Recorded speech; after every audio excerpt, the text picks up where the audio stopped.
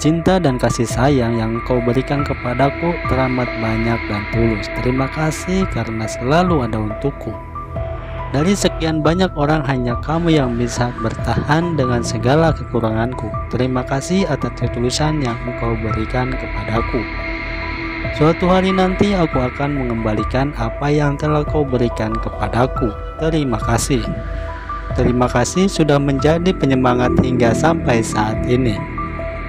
Terima kasih atas waktu yang kau luangkan, perhatian yang kau curahkan, dan rasa sayang yang begitu dalam hanya untukku.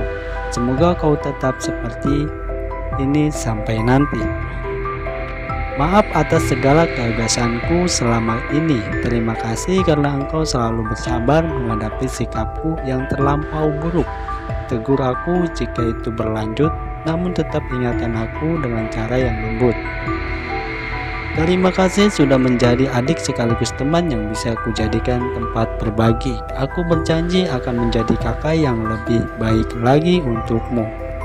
Mohon maaf atas sikapku yang suka memerintahmu, sikapku yang suka memarahimu, dan sikapku yang terkadang acuh padamu.